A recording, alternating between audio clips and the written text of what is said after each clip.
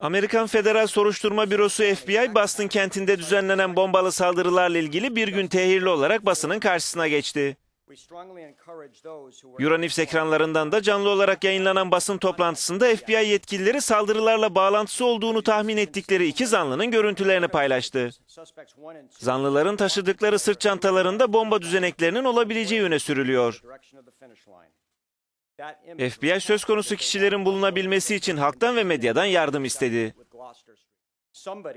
Dışarıda birileri bu zanlıların arkadaşı, komşusu, akrabası ya da iş arkadaşı olabilir. Bu çok zor olabilir ama işimize yarayacak bilgiler için herkesin katkısını bekliyoruz. Boston Maratonu'ndaki saldırıda 3 kişi yaşamını yitirmiş, 170'ten fazla kişi de yaralanmıştı.